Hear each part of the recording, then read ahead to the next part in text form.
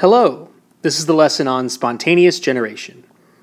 As you can see from the definition, spontaneous generation is the belief that life can arise from non living material at any given moment. Hmm, do you see a problem with that? Well, if you remember from the cell theory, one of the tenets or important pieces of the cell theory is that cells come from pre existing cells. Life makes life. So the belief that non living material can give rise to life, we now know it's not true. But hundreds of years ago, especially before the scientific revolution, this was a very commonly held belief among the populace. You know, regular people like you and I would have believed that maggots grow out of raw meat. Look at this.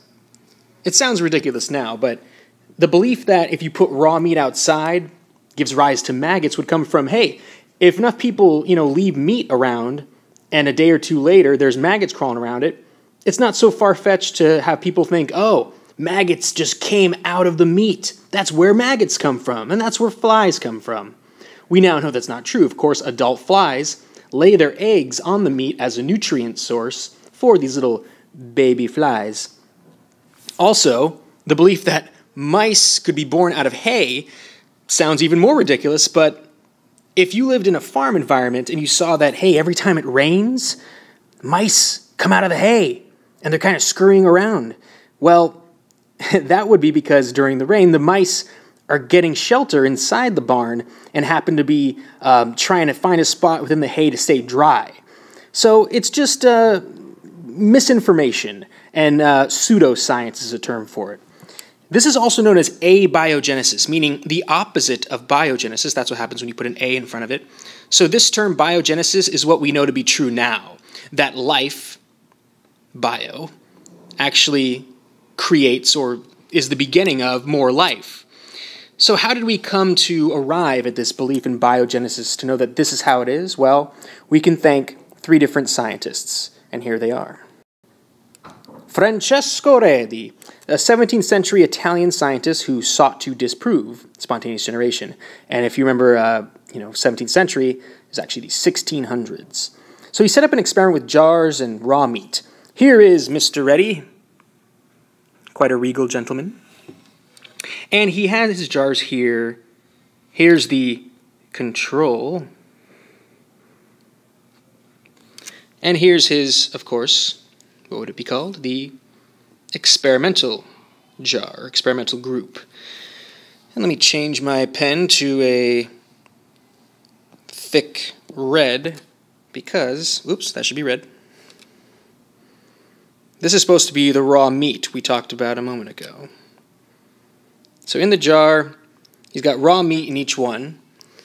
And to vary the control and the experimental, he covered one of them and left the other open. So the experimental jar is supposed to be different from sort of the natural scenario. And the natural scenario that people were used to seeing at that time was hey, if you leave raw meat out, flies are born from it. So he thought, hey, if I leave it exposed to the air, that will let adult flies lay their eggs, and I can prove that, hey, it's flies that are actually making these maggots.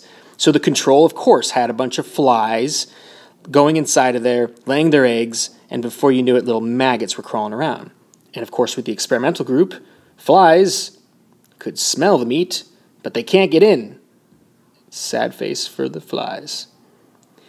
But you know what? This didn't completely disprove spontaneous generation.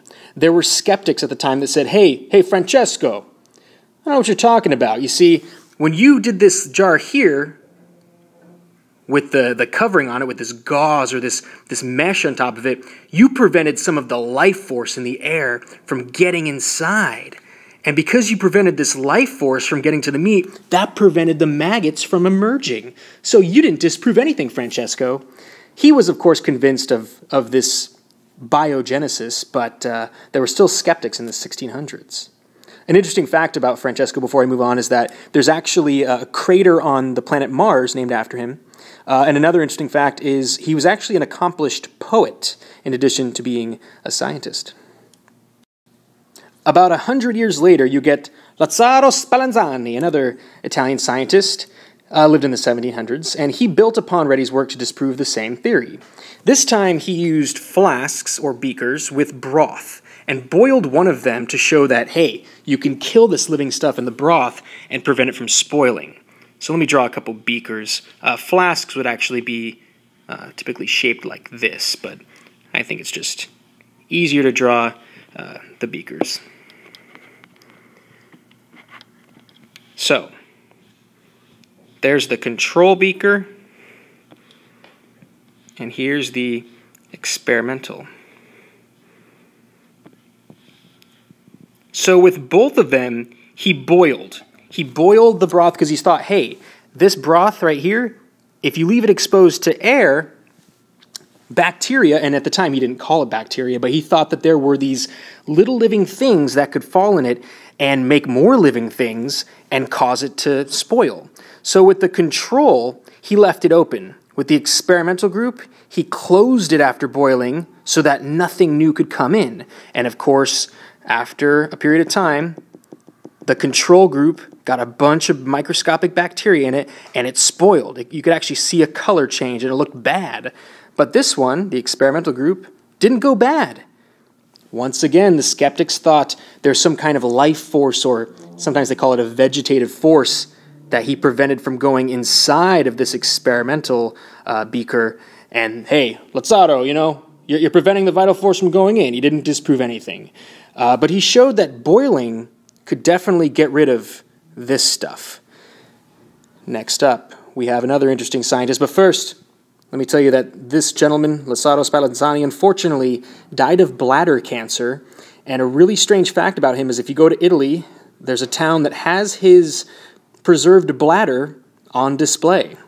So that's something that most humans cannot claim, having their organs on display for others to see after death. Uh, next up, Louis Pasteur, and of course, the process of pasteurization is named after him. Uh, alcoholic beverages, milk is pasteurized, and it's a way of flash heating to get rid of germs or bacteria. It doesn't get rid of 100% of them, but it certainly prolongs uh, the life of the beverage so that you don't get as many people getting sick with infections.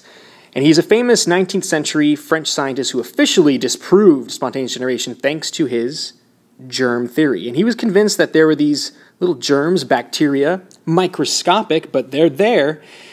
And they actually are what cause people to get sick. And they get transferred from person to person or animal to animal. And it's not this superstitious thing where uh, it's spirits or demons or a vital force in the air that's magical and could, you know, cause life to appear. So, so thanks to his swan neck flask, or also called gooseneck flask, he was able to officially disprove spontaneous generation. So, this brilliant glass making, you have this this uh, head of the flask or this tip that's curved in a way where if bacteria from the air come in here, they they will land and bacteria can be airborne, but they'll land in this part of the opening and they cannot crawl up and get into the broth. So the amazing thing is, he boiled both. He boiled this one and this one, you know, so that it was sterile. You didn't have any, uh, you know, bacteria in there. He boiled it to a high enough temperature. And if you wait long enough, the amazing thing is, after waiting with group one, it looks perfectly sterile still. It won't spoil. And it's because the airborne bacteria can't get up and in. And of course, those people who claim there's a vital force in the air, they got nothing to say here because there was an opening at the tip. Air can freely move in there, and as long as you don't, you know, blow into it, these bacteria that settle at the bottom, they're not going to end up going inside. Uh, bacteria, you know, they can't swim up. But you can see that, yeah, after just days and days and days no growth. I actually had a professor in college with one of these in his office, and he said it, had been there for years, and the broth still looked sterile, amazingly. But of course, in group two here, if you boil it and then take off that swan neck, bacteria can easily land in there and you get microbial growth. You get it spoiling. So this helped prove his germ theory. And thanks to Louis Pasteur, we also have vaccines, not just pasteurization. So thank you, sir. Um, an unfortunate fact about him is uh, one of the reasons that he was probably motivated to develop vaccines and save lives is uh, two of his children actually died of um, viral infections when they were very young. In conclusion, thanks to the work of these three scientists and others, spontaneous generation was debunked, and biogenesis is now the accepted theory. Science!